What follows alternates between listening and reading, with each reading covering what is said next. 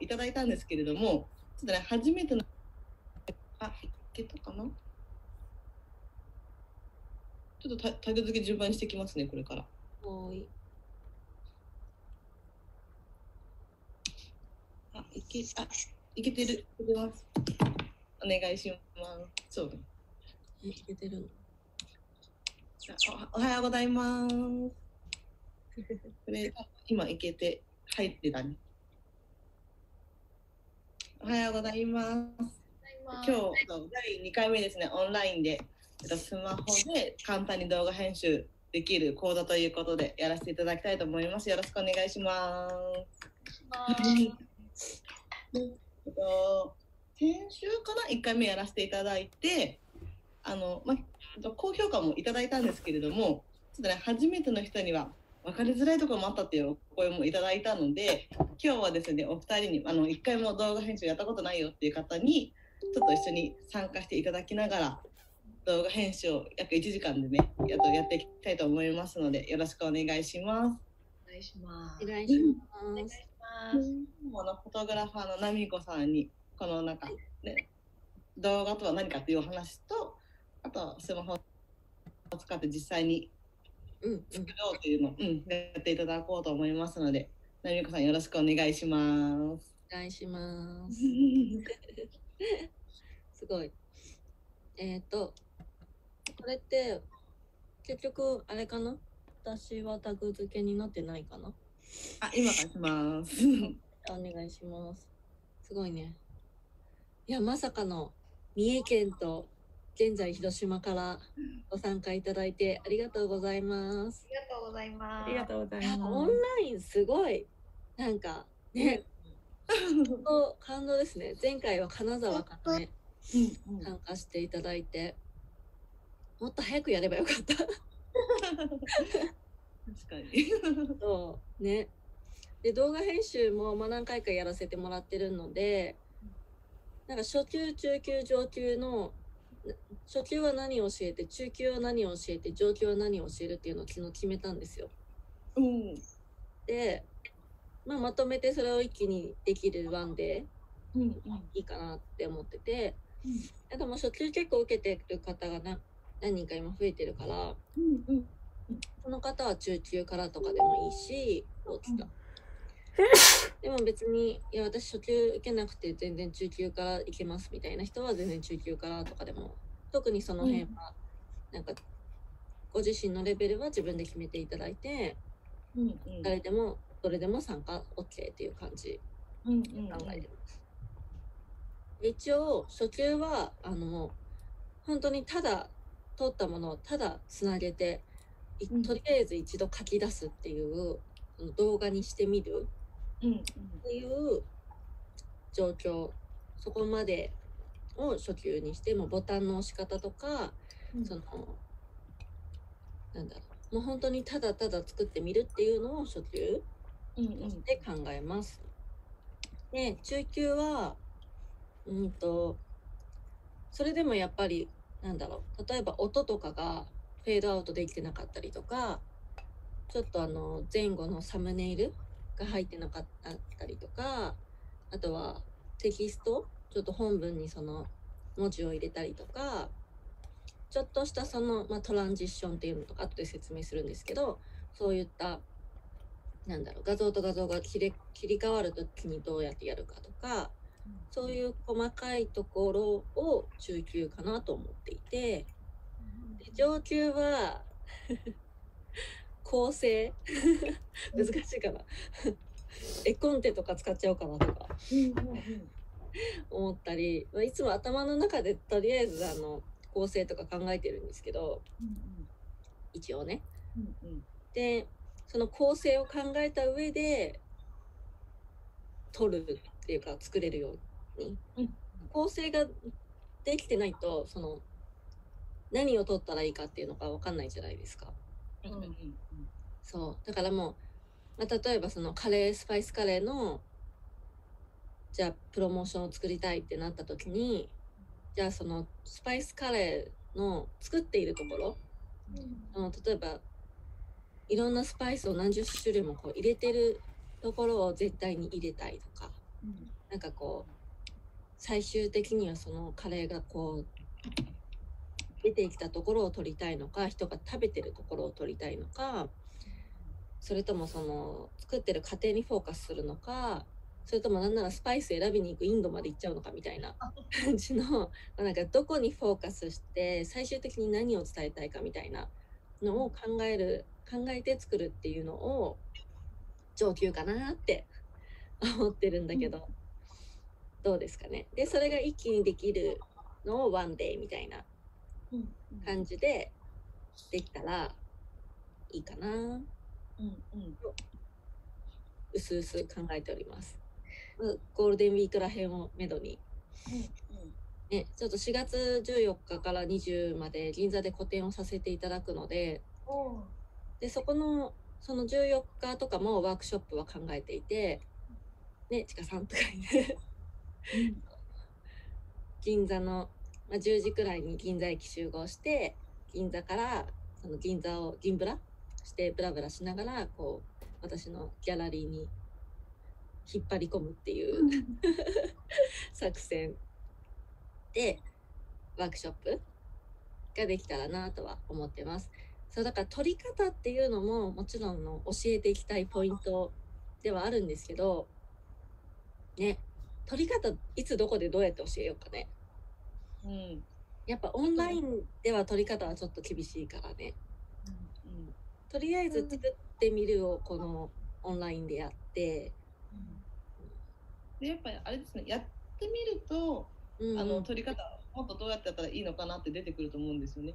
あそうやってみないと、そうそう。動画の時あこのねライブ配信の時にも言ったんですけど、まあうん。うん私動画の撮り方がやっぱ一定だったんですね。全部左から右っていうしかやってなくって、うんうん。編集すると全部同じじゃんっていうのがあうんって、さん。は寄ったりとかなんかね、聞いたりとかいろいろあったけれども、それってやっぱやってみないと。うんうんうん。来た時にあれっていうのがあるとまた質問出てくると思うので、まだオンラインとかで、ね、作り方っていうのをしていただくだけで結構ね進みますもんね。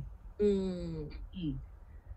そうだよね。やっぱりまず作ってみないとうんなんかえこんな風に撮ってたんだ自分っていうのに気づかないうんよ。ね、うん。そううんねで、えっ、と、あとみ、皆さんの容量って、どのくらいありますか？自分の携帯の。なんだろう。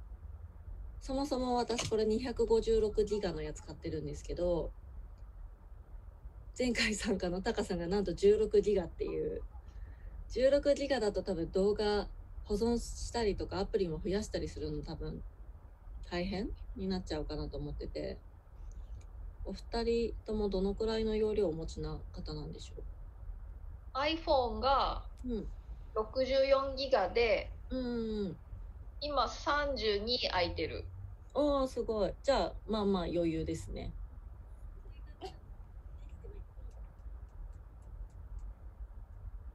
感じです。私多分それ聞かれてもわからないっていうね。そう、どこで見たらいいのかって言ったストレージの見方がわからないっていうところだよね。ちょっと質問されてることがちょっとわからないなっていう。設定、設定からさ、あの、あります。そうそう、iPhone ストレージ。ストレージが128ギガで、55.9っていうのが空いてる部分ですかね。あ、なるほど。じゃあ、お二人ともまあまあ作れますね。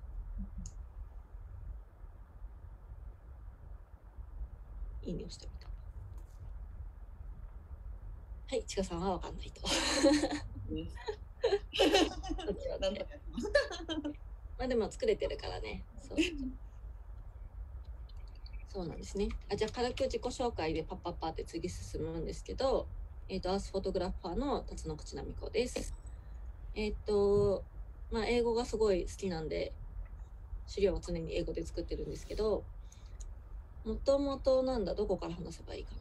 えっ、と、写真、写真を始めたのはまだ5年くらいなんですけど、もともと料理教室の先生とか OL とか普通の女の子してました 変だよねでえー、と写真の1枚のオーロラの写真を見たことによってあのわーってこうなんか人生が変わっちゃってそれでもうカメラ買いたいみたいななんかもうすごいカメラ買いたいってなっちゃってでこんな姿になっちゃいましたみたいな。そうあのハマるとハマるんですよ。でこういったあの美しい野生動物とか北海道で撮らせていただいたりアラスカでオーロラを撮ったりとかしてでその写真が今いろいろあるので今度銀座で個展をさせていただこうかなと思っています。でその個展の後はあの何しようかな 皆さんがこう私はこういうのをした方がいいっていうのを意見をお待ちしています。これをやってみたいな。まあ、その一つに多分スマホで簡単動画編集をもう少しやっていこうかなとは思っています。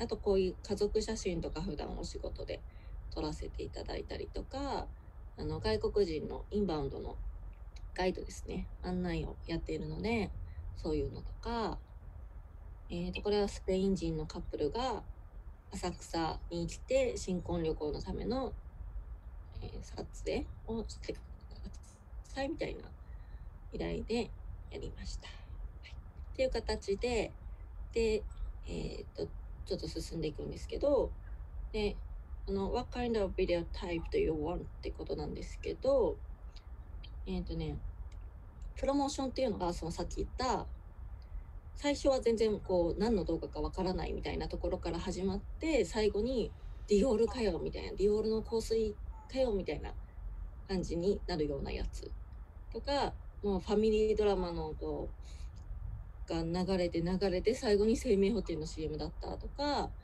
全然関係ないところから始まってるんだけど車の CM だったとかっていうのが最後に分かるやつで大体 CM って15秒とかなんですけどその中でバーってこうストーリーがあってそれをこう最終的に何が伝えたいかっていうのを決めて撮るのがプロモーションです。だから多分プロモーション撮りたい感じかなと思います。で、チュートリアルはこういう私がやってるような How to ですね。どうやってあの教えるかみたいな。こう、これをこうやなんていうの、まあ、お料理の作り方もチュートリアルだし、あとは何？そのカメラの使い方みたいなのもチュートリアルになります。で、えっと、Vlog っていうのはもうほんとただの日常の切り取り。まあ、いわゆるブログを皆さん文章で書いてるんですけど、そのブログの B が V になった、ビデオになったっていうのがビデオログで Vlog です。で Vlog は本当もう世界中でめちゃくちゃ流行っててもうみんなあの自撮りしてよくあの観光客とか見るとまあなんか「へい」みたいな感じで喋ってるじゃないですかあれが Vlog ですでも本当にあのメイクしてる朝のメイクとかなんだろう犬の散歩とかご飯食べてるところとかもう何でも本当日常の日々のことをただ切り取る。でそれを一つにまとめるっていうのが Vlog になるので私は Vlog 人口をちょっと増やしたいなと思っているので今ちょっと Vlogger Japan っていうなんか、うん、なんかオンラインサロンに近いようなこう Vlog を一緒に作りましょうみたいな感じのやつをこれからやっていこうかなって。でそこだったら質問とか受けれるかなみたいなのを考えてます。ぼちぼちやります。そう。ねそしたらなんかこうね、とりあえず自分でこう作ってみたけどこれっていいのかなとか多分最初なんかこれってどうなのかなっていうところって多分あると思うからそれをこうなんかあのみんなで一緒に「あこれいいじゃんあれいいじゃん」みたいなのをやっていけたらちょっと面白いのかなみたいな。そう。なんか動画クリエイター専門のオンラインサロンとかちょっと入ってた時もあるんですけどいやもうレベル高い。なんかもう多分本当レベル高すぎてなんだろう。私が今一緒にこう教えている方たちは多分専門用語すぎて何を言ってるのかわからないみたいな感じになっちゃうからなんかもうちょっと緩いバージョンの本当に気軽にできるのなんかないからいいかなとか思ってます。でも一応ベースカメラマンなんでまあカメラ系も考えてるけどまあでもカメラより今スマホでみんなでやった方が面白いかなとかはい、模索中です。で、えっ、と、目的、目的をはっきりさせましょうということで、えっ、と、まあ、何をその動画で伝えていきたいかっていうことと、うんまあ、どうして動画を作りたいかっていうのと、一緒だよ。大体一緒だよね。私いつもこれ見てて思うんだけどさ、一緒って思わない？なんか作ってる時は気づかなかったんだけど、どうですか？これ。ね、うん、でも何を伝えたいか。そう。違う、違うよね。え？違う？一緒？ね 英語だと違うんだけどね。なんかその、What, what do you want to tell? So why do you want to make video? And who do you want to show your video? やっぱ違うわ。違う。違う。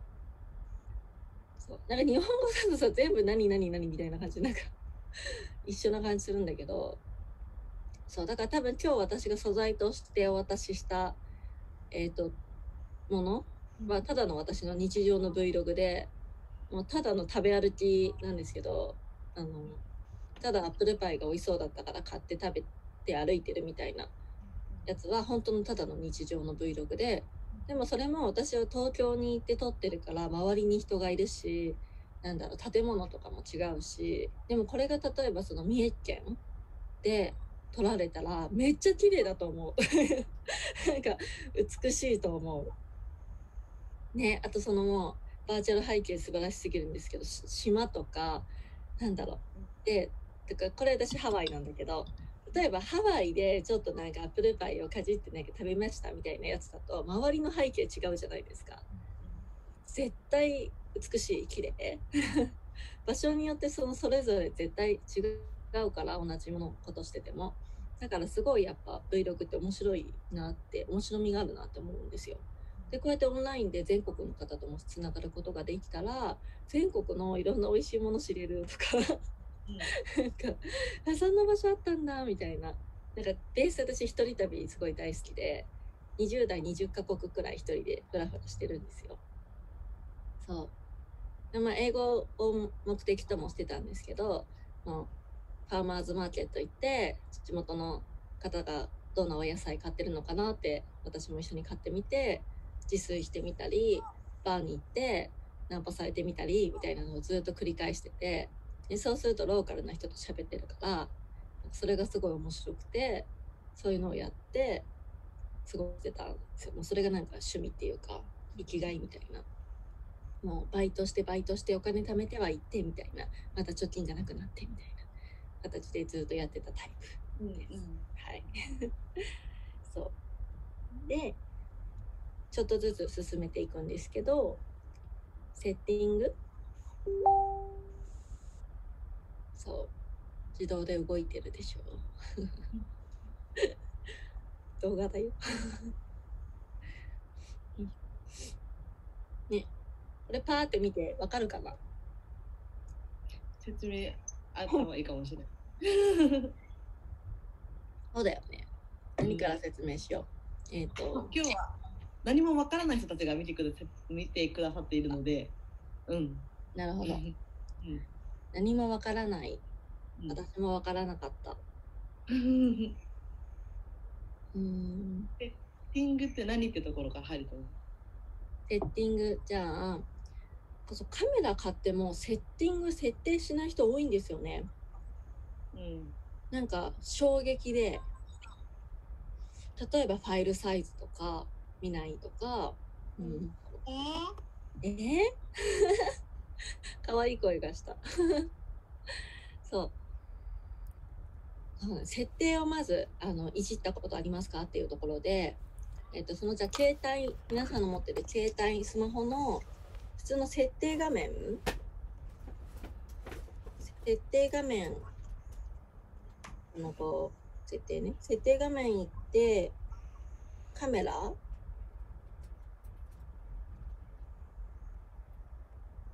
カメラのところ行くとあもしかしてアンドロイドとか違うかなこれ。どうしよう。でも設定は一緒だよね。グリッドってあるのかな？グリッドあります？カメラのところから入れます。でこのグリッドっていうのをオンに普段してます？この前のあの動画配信して見てオンにしました。嬉しい。こんなのあったんだと思って、あのカメラ普通にあのデジカメとか一眼は使うんで、そっちのグリッドは知ってたんですけど、スマホにもあるんだと思って。そうなんですよ。最近すごいですよ、このうん人たち。もう、すごい。写真のセンスも本当すごい。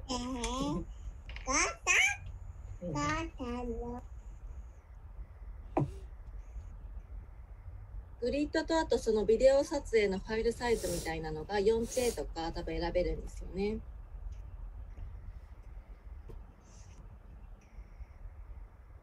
で、まあ 4K の方が、なんだろう。例えば大きいテレビ画面の 4K 対応のもので映し出したときに、綺麗に映るです。これを小さいファイルサイズで録画してたものを映すと画像が荒れる荒れてるっていうかなんか画質が悪い状態だなって思う。から一応その持ってるカメラとかスマホの、まあ、一番いい状態で撮れるなら一番いい状態で撮った方がいいんですけどそうすると容量食うんですよ。4K って。だから容量がたくさんない人でそもそもそんな大きい画面で映さないよとか、まあ、YouTube に載せるだけだよとか、そのちっちゃいスマホのサイズ感、このサイズ感だけで見るだけでいいからっていう人は、例えば1080とかの、あの、サイズでいいんですよ。でそうすると容量が明らかに少ない。から、そのさっきのストレージっていう、その iPhone のストレージの残り部分っていうのが多分 4K でいっぱい撮ってるとすぐに減ってっちゃう。けど1080とかだったらそんな減りはそこまで早くないかなみたいな。でもゆくゆくその素材をどうしていきたいかっていうところなんですけど、えっと、石井絵理子さんは、YouTube に載せますか？この動画できてきたら YouTube とかに載せたいなって感じですか？そうですね。さっき言ってたその3タイプだと、まずは Vlog、うん、とかをやってみたいなっていうのがあって。うん。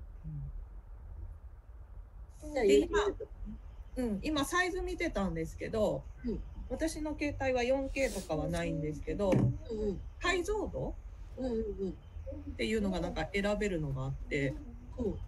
解像度何である？あ、あ、あ、見えないかも。なんか一文字言ってください。あの、なんかまずサイズを16.9と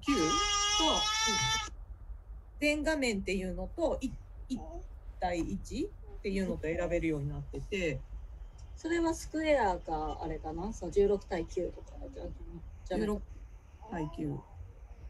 で、今16対9に設定、ここは触ったことないんですけど、なってて、うんで、その16対9が解像度っていうのが、なんか下にあって、うん。で、それが FHD1920 かけるかな、?1080 っていうのにああそうですね。それがまあ普通ですね。うんそれがなんか5つぐらいその選べるようになってて HD とかうんうん。UHD とかうんうんうん。いろいろあって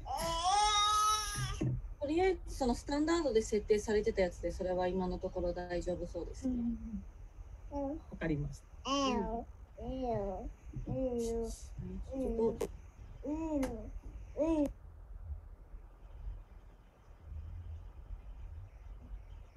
うん。私このビデオ撮影のこの720になってましたよ。本当うん。多分直してなかったと思う。え 4K 選べる？今、今あの、ナミコさんのこの画面と同じのにしました。うんうんうんでね、しかも私、あの、ストレージめっちゃ空いてたっぽいです。本当？ちょっと見たら、えーとあと、マイさんはどうでしょはい、私も iPad とか 4K 選べるんです。でうんうん。ちょっといっぱい撮ったら大変になるかなと思って1080にしてたって感じなんですけど、うんうんうん。この1080の中でも 30fps と 60fps で30になってたから60にしてみた、見ました。うん。それはなんかスローモーション撮るときとかはい。に、要はその1枚の、なんだろう、1、1画像の中に60枚の写真をこう入れてるか30枚の写真を入れてるかで、60枚の方が滑らかに映る。カタカタってなるか、30のが、でも、でも、でもそこまでこれぶっちゃけ、なんか、そんな、なんだろう、もう、スローモーションを日常でそんなに多分撮らないから、そんなに気にしなくてもぶっちゃけ大丈夫なところ。あの、ちょっとずつやっていく中で、なんか、またちょっと設定いじったりとかいう、なんか、こう、こういうのがあるんだなっていうのを今回してもらえばいいかなと思います。はい。はい。で、グリッドは必須。もう、あの、水平、水平命。そう。あの、なんだろう。この、私の背景とか今すごいわかりやすいんだけど、めっちゃ水平じゃないですか。で、これほんとすごい、あの、普段から気をつけてて、こう、斜めにして撮ったものって、なんかこう、うんみたいな違和感。うんって感じなんですよ。見てる方がね。見てる方のことを考えると、あの、なんだろう、水平で、こういう、これ取り方の時に教えるけど、腰を使ってこう、水平で、そうそう取る、取る。こうやって取らない。ね。っていうところで、うんとそう。で、まあ、基本的にその、何でゆくゆく動画を発し配信したいかっていうところなんですけど、まあ、横向きで、あの、撮影した場合、Facebook とか YouTube とかは横向きになります。で、横横横横で撮ってた方が、まあ、見た目的に綺麗かな。ここに縦が入っちゃうと、あの、端っこが黒黒くなっちゃうので、そう、まあ、わざとならいいんだけど、わざとじゃなければ違和感。よくあの、斜め撮りもあるんですけど、インスタとかでも、斜めで撮る人最近多いじゃないですか。私斜めで撮んないんだけど、なんかね、わざとその斜めのその主体のものがあって、その先に何かがこう、ボケてわざと映してるみたいな斜めはおしゃれなんだけど、斜めになっちゃったみたいな、なんかこう、意図してない斜め は違和感変なんですよ。そう。だからその辺ね、あの、意図してるかしてないかっていうのが重要。で、まあもうもっぱらストーリーにしかあげませんみたいな人はもう縦かな。うん。まあでもこれからは多分 YouTube やる人すごい増えると思うから、なんか横向きで撮っといた方がいいかなとは思います。そう。で、えっ、と、まあ、おすすめとしては、一応 Vlog、これ Vlog ね、Vlog を撮るとしたら、あの、4秒から10秒、まあ、2秒でもいいんですけど、2秒だとちょっと編集しづらいかもしれないから、4秒から10秒の動画をたくさん撮って、実際に使うのはほんの数数秒で、で、Android ってタイムラプスとスローモーションありますか？そのタイムラプスって何でしたっけ？早送り機能。なないかもしれないカメラのところにあるんですよ、iPhone は。カメラのカメラ撮るところで、そう。撮るところ？うん。なんかあれですよね写真を撮るかビデオを撮るか、スローモーションを撮るか、タイムラプスを撮るかみたいな感じで同じところに並んでるんですよ。ああ、えっと、スローモーションはあります。スーパースローモーション、スローモーションでも、タイムラプスっていうのはないですね。じゃあ早送りはないのかな？ハイパーラプスは何ですか？早送りかなですかねハイパーラプス、うん、多分。ハイパーラプスあります。あ、じゃあそれかな。ハイパーラプスなんだっけ。ちょっと調べてみます。そう。えっ、と、まあそういう機能がそのカメラにもともとついてるので、その機能をふんだんに使いましょうっていう、なんかこう言わないとみんな使ってくれないから、うん。そう、え、そんなあったみたいな。使い方がわかんないですよね、まず。そっか。なんかね、あの、まあ、早送りの方は、もう、例えば、こう、動いてる。何かすごい交差点、渋谷の交差点とか、なんだろう。うん、夕日が沈むところとかを、ずーっとこの、ホールドしとくんですよ。で、そうすると、その画面の中で、バーって早送りで撮れるから、今日私が渡した素材のうちの一つで、多分交差点で私が待ってる時のやつが、あれがタイムラプスです。早送り。あれは、うん。あの普通に撮ったのを早送りっていうふうにはできないんですか、普通に撮ったのを早送りには、編集の画面で多少できるんですけど、うーんとね、なんだろう、早送りのやつ撮るのって、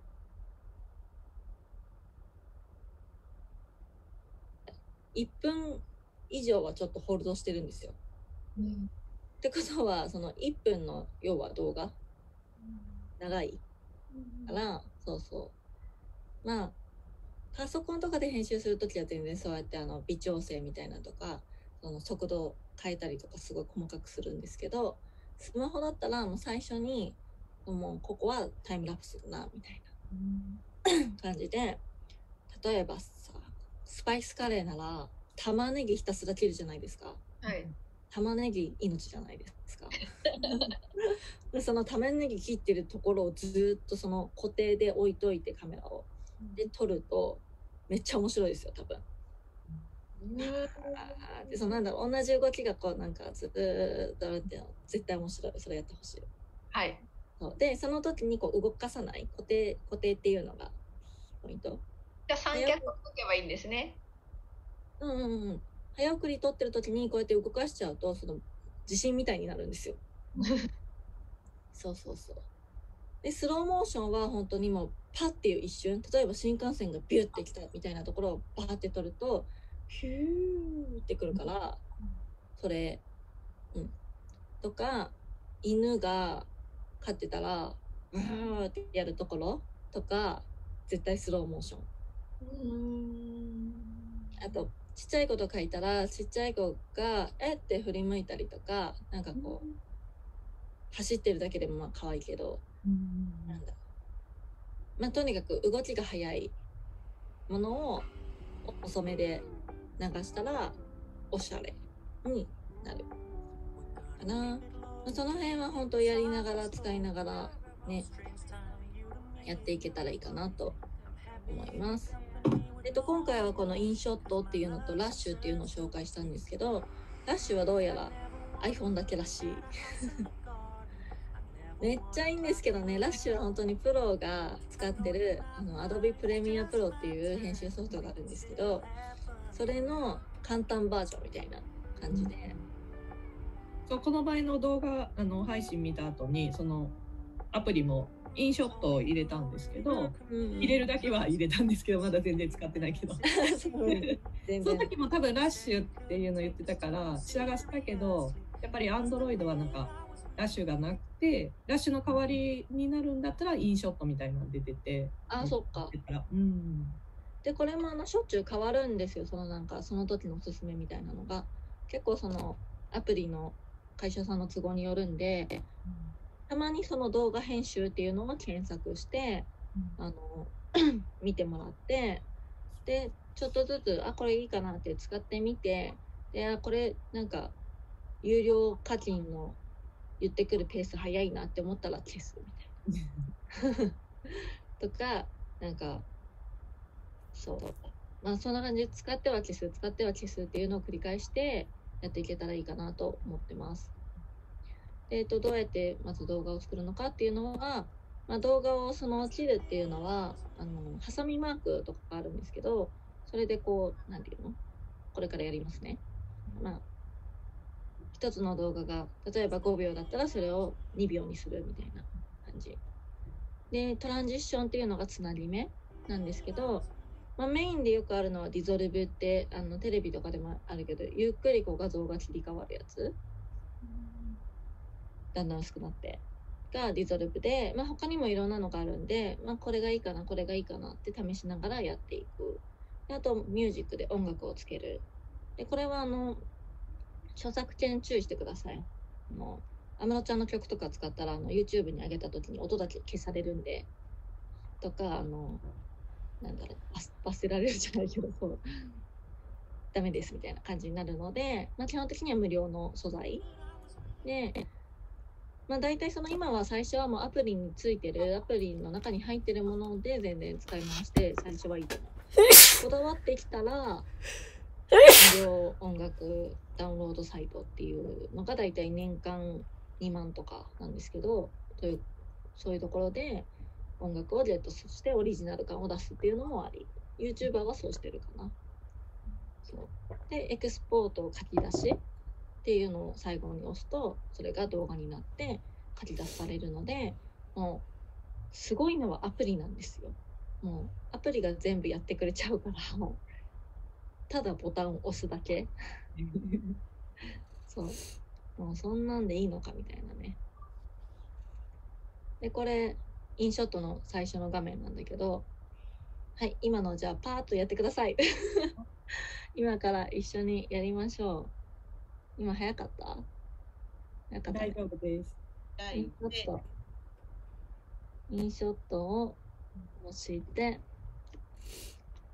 インショットを押したら、ビデオか。ビデオを押して、で、ニュー、ニューで新しく作る。で、大体アルバムに、あの、入れ、分けといちゃった方がやりやすいです。で、アルバムにも名前つけて分けといた方が、選ぶときにめんどくさくないから、で、選びます。で、今皆さんどこまで行った？今回だと、えっと、事前にラミコさんが送ってくれたうん。10枚の動画をね、うん。選んでいただい選て、うん、選びました。はい。選んで入れました？はい。はい。じゃあ私も選んで、み右下のチェックかな？うん、チェックかな。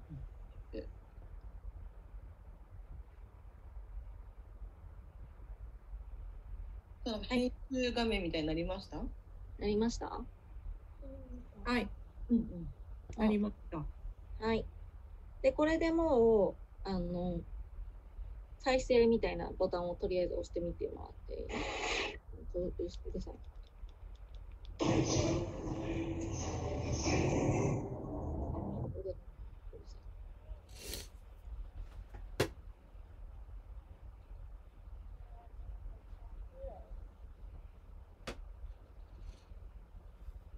今ど、どんなんだろう？この、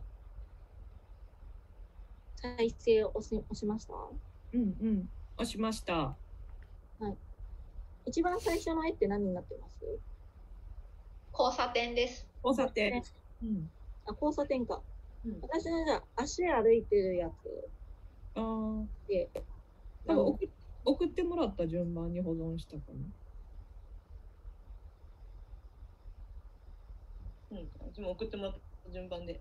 そしたらこの入れ替えるっていうのもやってみますか？入れ替えるっていうのをやります。ねじゃあ、その私の足のやつを、ポンって押して、それを、こう、なんていうの、ちょっと長押ししながら動かせるんですけど、ああ、わかりました。長押しして最初最初とか戻ってきたいところまでビビビビって引っ張ってもらうと。ビビビビって私多分映ってないですよね今ね。すごい、トラックして交換でできた。できたイエーイできました。えで、そしたらそれが、あの、えっ、と、縦ですよね。だって、うん。じゃあそれを直しましょう。えーっとね、う、なんていうの、画像があって、その上にあるいろんなやつをスライドしていくと、右の方に、ローテイト、ルーテイト、こういう矢印のマークが、こういう、こういう回転させ、回転させるやつはい、ありました？ありました回転。ありました。はい、回転をしてください。3回くらい。二三はい、OK です。で、やると、進みました？私の足。うんうんうん。うん、足が上向きとか、上に、下どっち？上？足が上向き。上。で、その先に、あの、白いスーパーの袋を持ってるおじさんがちゃんと縦に映ってたでしょ。映ってます。うんうんうん。じゃあ、このおじさん、どうしようかな。おじさん切ろっか。じゃあ、ちょっとその、足の画像をポンって軽く押して、はい。そうすると、右にこの、なんていうの、こういう、こういうのが、トリミングっていう書いてある。そうそう、を、ちょっと、ポンって長押しみたいなすると、動かせるんですけど、切れるんですけど、タミコさん、これの今、ライブ配信やってる画像の方は動画、うんこれ？こっちは直せない？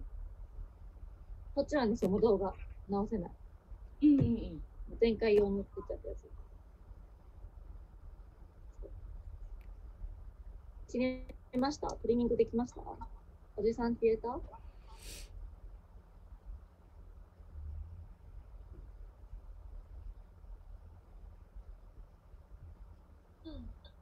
おじさんいなくなりました。おじさんいなくなりましたか？はい。あれ？で次が交差点の写真かな？はい。ちょっと待ってください。こういう。今、トリミングっていうのはね、ハサミのマークですよね。ハサミのマークをやって、んはい、今、動画編集。っていう。ラビこれじゃないですか？ハサミだと飛んでるって感じになったんだよね。ハサミじゃないんですね。あ、ハサミでやってもいいのか。フリップってやつですか？違う。あ、ハサミを押したらすごいわかりやすくできるね。ハサミを押しても、あの、押さなくても、どっちでもできます。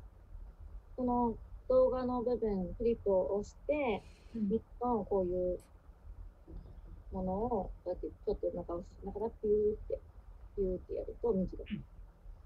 OK です。おじさんいなくなりまし簡単になくなりました。た。切れました。そしたら、最次が交差点でしょで足が進むところを最初からちょっと流してみ見て次にパッて交差点に行った時にスムーズになってれば大丈夫。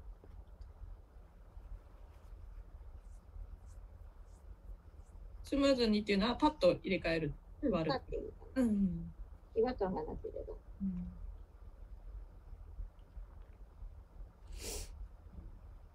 で、この交差点がこの早送りね。うん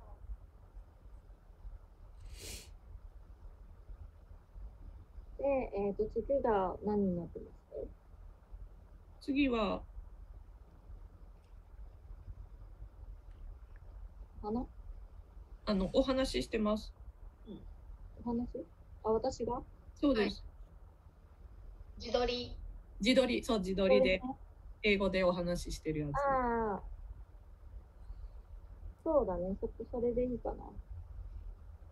はい、その次は？その次は、看板？看板？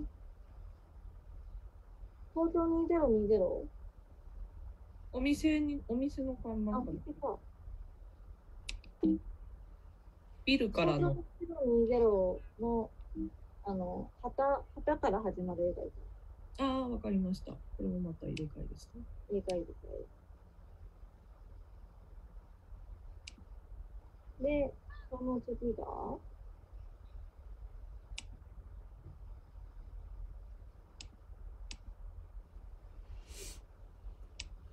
アップルパイを買うところかな。あ、違う。アップルパイ。アップルパイがショーケースの中に入ってるやつを次に。が次かな。はい。赤の時に。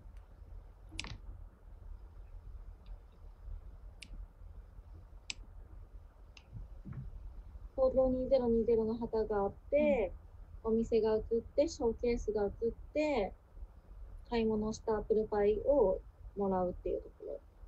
まで行きましたアップルパイで、アップルパイが2つ並ぶんですよね。アップルパイ、アップルパイ。はい。アップルパイを買って、袋に入れてくれて、それを受け取る私。はい。はい、OK です。で、東京メロンパンのあれで、あ、で、ここがちょっと、信じないといけないポイントですね。私が袋を受け取って、袋を看板と一緒に写して、うんで、その、自分の方に、なんていうの、動画の停止ボタンを押すためにこう、アップルパイ袋が映ってる袋のか。がそう映ってるから、この袋は消しましょう。いい具合のところで。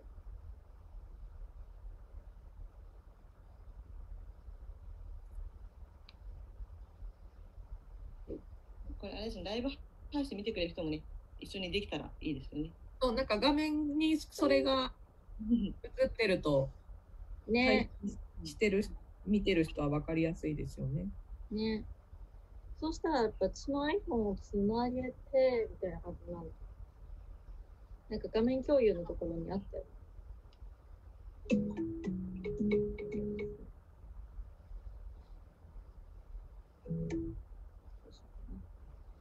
で今やってるのは短くするのとその5秒とかの画像をうんうん。短くするのとあと回転するのは反転とかと、回転と、入れ替え？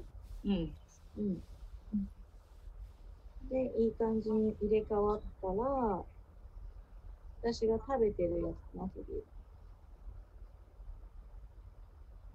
食べてるやつが逆さになってますか、うん、なってます。はい。じゃあ逆さを戻しましょはい。う。くるっとか、くるっとか。逆さはこのインショットだとそこのあれですねさ逆さにしたい画面を選んでもらってこの矢印に回転をむ向きがいいところまでうん 押してもらう。あ、この今が画面に映ってるのこの回転の。うんうんうんこれだ。これです。回転。押すと、ね、どっちも悪いか分かんないけど一回ね横になって上向いてとかなるからいい感じで、で、えっと、これもしかして私スローモーションの方に映ってる？うん。いける両方撮ったんですよ。スローモーションになってます。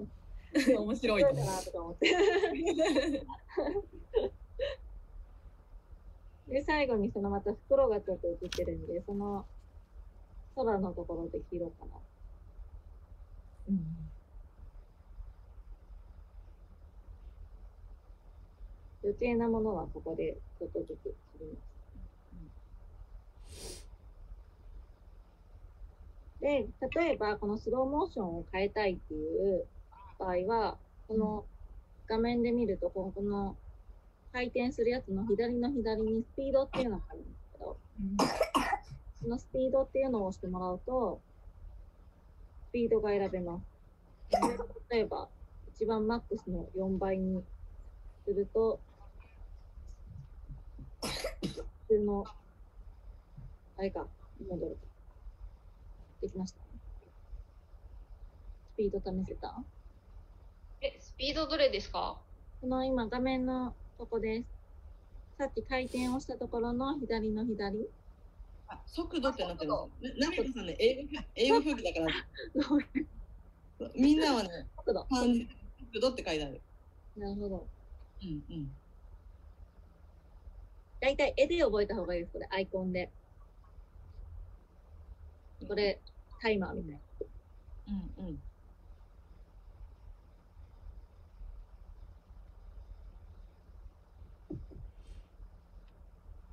これあれですねこの指で調整できるからね数字を。どのくらいかって。うんうんで、スローモーションのままでもいいし、早めにしてもいいし、うん当てます。数値が大きくなると速くなる感じです。そうそうそうそう。うんで、次がお花かな？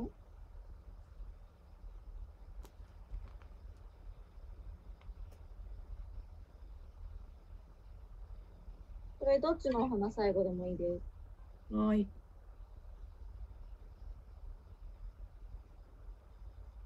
みたいな。うんうん。で、一応ここに、えっ、と、ミュージックっていうのがあるんで、あーこの画面上にも音楽ですね。音楽だね。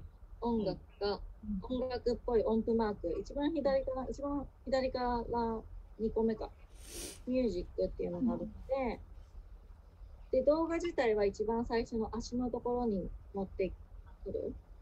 最初に持ってきて、で、ミュージックっていうのを押すと、一番左にトラックする音符マークとプラスがあるから、うんこれでプラスをしてで、いろんな音楽があるんで、まあ、とりあえず何でもいいんで、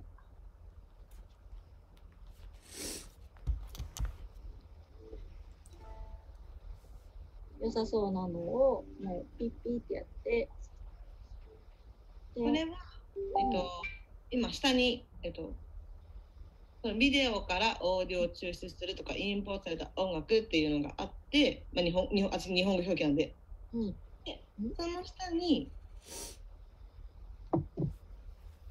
いろんな、なんかこの、なんだろう。えこれですよね、画面、皆さん。違う？あそうそうそうそう、それでポンって押してもらって、でそうするといろんな、上じゃなくって、うん、その下の、うんうんうん、そしたらこの雲マークでダウンロードするんですか？あ、そうそうそう。で、ダウンロードすると、ユーズ使う、使用みたいな。用いるってなりました。うん。モチールになりました。面白いね、日本語。用いる。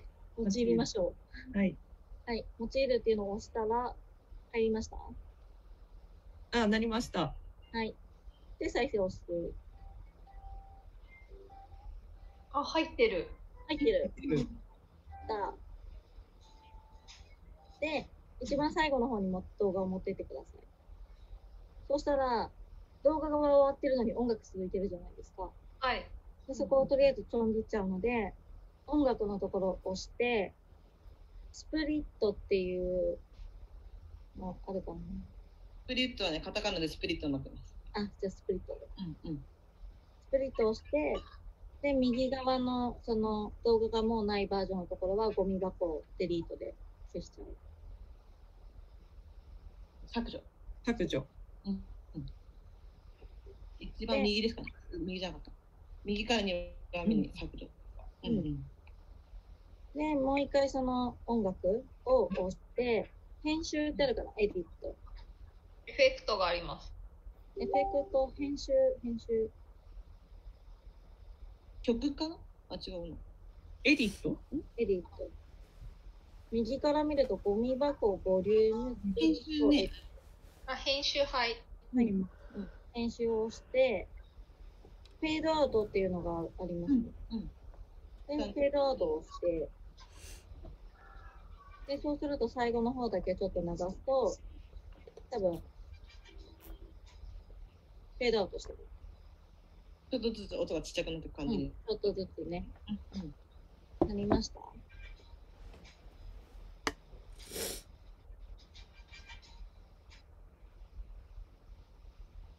なりました。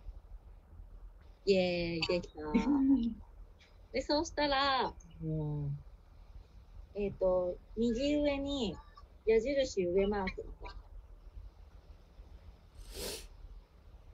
どこ？う右上？右上、画面のこの右上？の、この辺？ない。ない。はい。一回ね、右、えっと、真ん中ら辺の右側に多分チェックがあると思うんですチェックはあります。うん。を一回押すと多分そこの画面に行くかもしれない。うんうんうん。これ？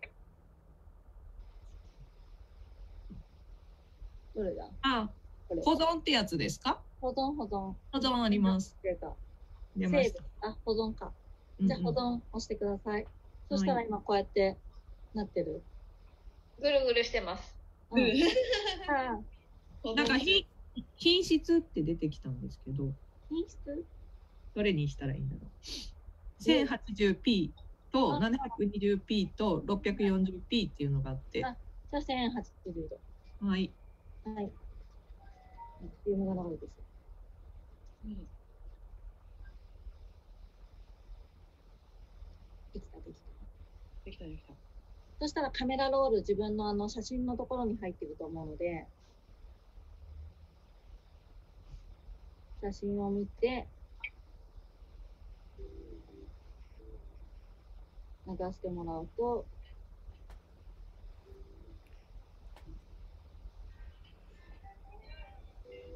うんこういう感じで。できてますか？保存されてます？うん。しされてた、すごい。できた。ちゃんと音楽付きで。イエーイ !10 時59分。すごい。すごい。はい。ね、なんで今日はその、ね、事前になみこさんに動画とかを撮っていただいたけれども、このやり方がもう基本として、ね、分かったのでどんどんね試していろんな動画撮ってもらってはや、ね、タイムラプスだったりとかそういうのを、ね、使ったりとかしながら遊んでもらえたらいいですね。ね、そうですね。とりあえず自分バージョンでうんうん作ってもらって、はい。できた。ああ、すごい。もうほんと PPP だから、これ本当にやると、あの、5分です。5分うん。ね、始めたら、ね、な何できたらいいですよね音楽とかも、ね、こういうのがいいとかねうん最初はやっぱり、ね、分かんないからいろいろ試したりってのあるかもしれないですけど。すごい簡単だった。簡単なんですよ。うん。これをまた構成考えるレベルまでいくと、うん。なかなか面白いと思う。うん。そう。ね、そういうのもね。入れ替えが簡単っていいですね。うん。そう、本当に、これはね、このアプリは本当に優秀だと思うん。う。うん。ちょっとあれですかね、一言ずついただきますか、やってみて、感想を。はい。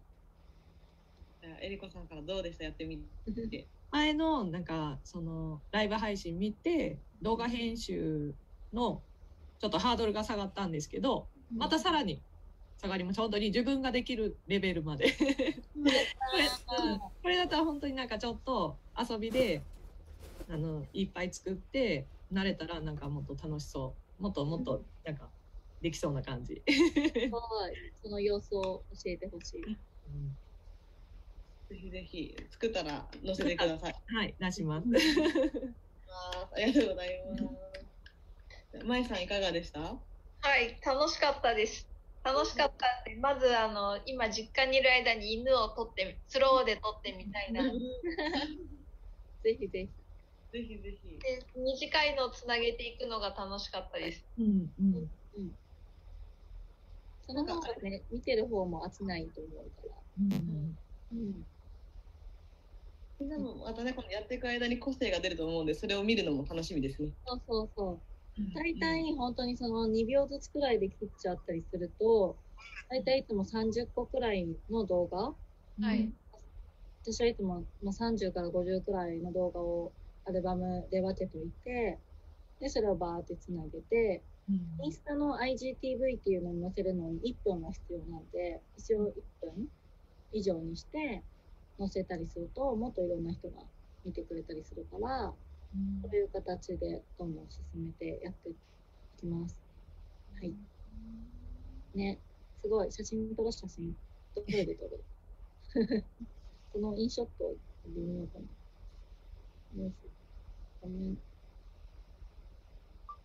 あ、これあれか。サムネイルか。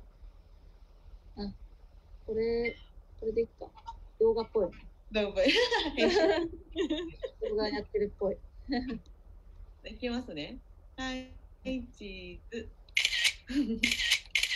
オッケーです。またなんかね、わかんないことがあったら聞いていただいたりとか、あと動画もこれ残しとあのタイムラインの方ですね、Facebook の方残しておくので、またなんかちょっとわかんなかったなと思ったら見返してもらったりもできますので、ぜひぜひ動画楽しんでいただけたらと思います。ライブも来ていただいた方に皆さんありがとうございました。わあ、りがとうございます。ありがとうございます。いつも切り方を